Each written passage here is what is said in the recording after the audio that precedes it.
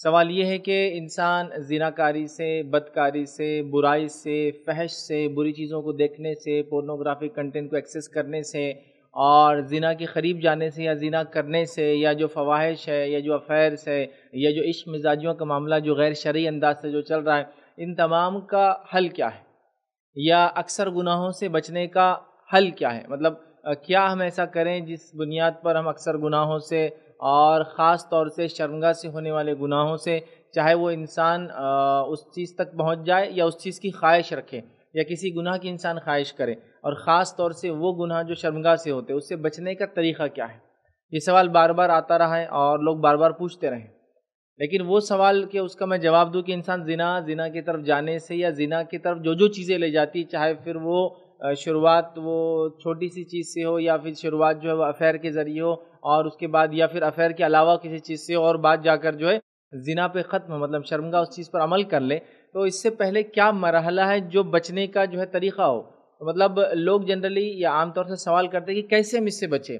और जो अमूमी सवाल के जवाब आते हैं वो इस तरह से आते हैं कि भाई बाँध टूट गया मतलब डैम टूट गया, अब पानी कैसे रोके? तो लोग हल दे रहे हैं कि भाई थैले लगाइए उसके आगे पानी के आगे वाला जो कैनाल नदी है, उसको जो है अच्छे से ब्लॉक कीजिए और वो कीजिए। ये सब तो सब बात की बात है क्योंकि बाँध टूट गया है।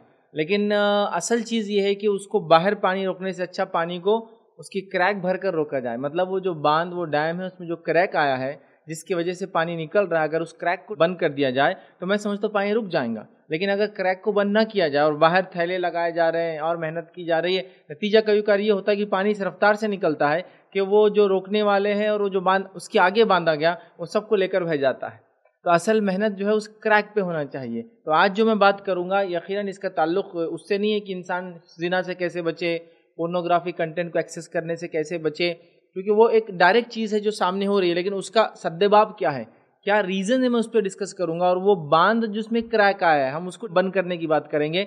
क्रैक निकलने के बाद पानी को कैसे रोका जाए उससे बात नहीं होंगी, याद रखी वो निकल कहाँ से रहा उसको रोकने की बात होंगी। तो इन तमाम का सद्देबाब जो रीज़न बनता है, जिस वजह से इंसान अफेयर तक जाता है, बुराई तक जाता है, इश्क मजाजी तक जाता है, जिना तक जाता है पोर्नोग्राफी तक जाता है, उन तमाम की वजह है नज़रों की हिफाजत ना करना। इसलिए कि जिना तो शर्मगा अंजाम देती है, लेकिन उसकी शुरुआत शर्मगा से नहीं होती है। वो खात्मा है। वो खात्मा है। जिस मिसाल को, जिस बात को मैं इस मिसाल से समझाऊँगा कि एक इंसान था।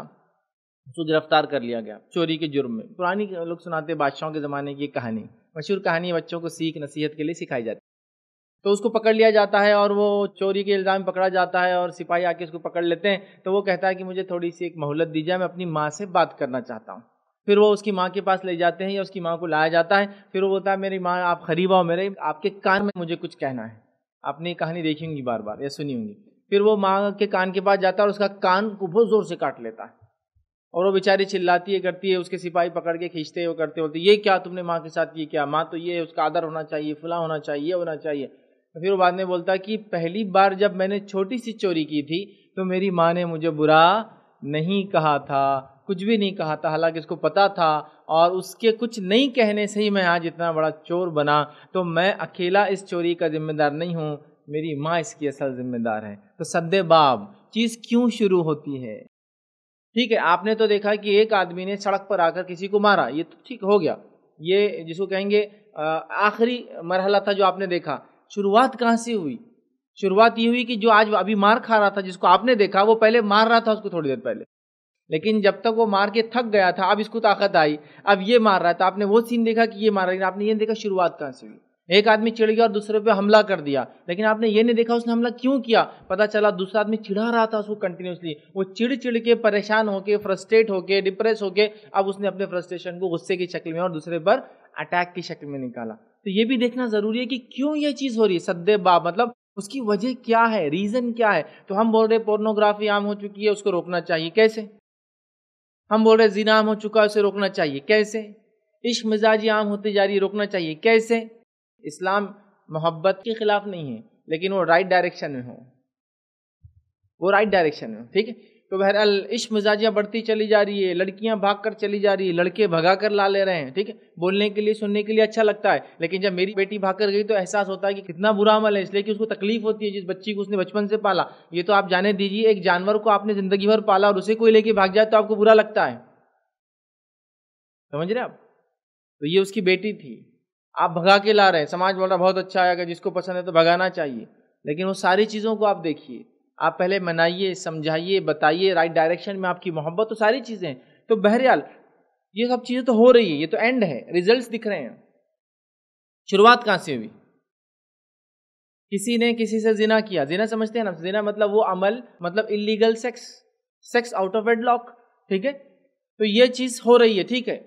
लेकिन वजह क्या है? रीज़न क्या है? कॉज क्या है? जब तक हम क्योर पता नहीं कर सकते शिफा जब तक पता नहीं चलेंगी, जब तक के बीमारी की वजह पता ना चले।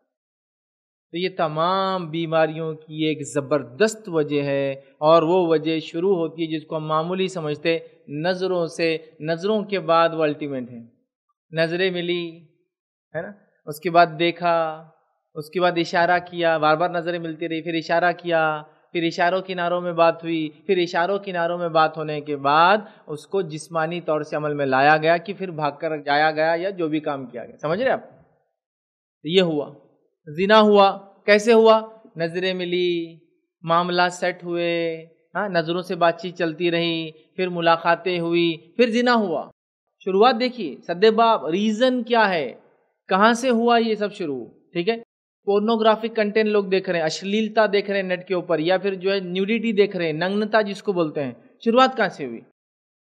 पहले कोई एक चीज़ को देख ली सॉफ्ट पोन देख लिया, यूँ ही ऐसी चीज़ें देख ली जिसमें औरतें या मर्द कम कपड़ों में होते हैं, फिर और थोड़े कम कपड़ों में, और देखता गया, देखने का आदि हो गया, फिर पूरा बरहना देखना शुरू कर दिया, उसी को पोर्नोग्राफी कहते हैं। फिर ऐसा अमल जो मियाँ बीवी करते हैं शादी के बाद, वो अमल वीडियो पे जो है गैर मियाँ बीवी, गैर शादीशुदा लोग और जो जिना की शक्ल में करते हैं, उसको देखने लगा, उसको पोर्नोग्राफी बोलते हैं और फिर उसका एडिक्ट हो गया। लेकिन शुरुआत कहाँ से हुई? ये नज़रों से हुई, याद रखी तो नज़रों के ताल्लुक से याद रखिए। नज़रें बड़ी ताकतवर चीज़ याद रखिए।